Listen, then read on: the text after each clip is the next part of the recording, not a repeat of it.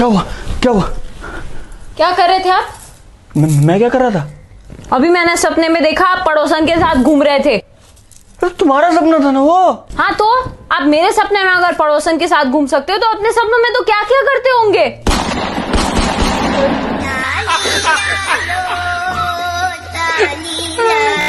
ਗੱਲ ਸੁਣੋ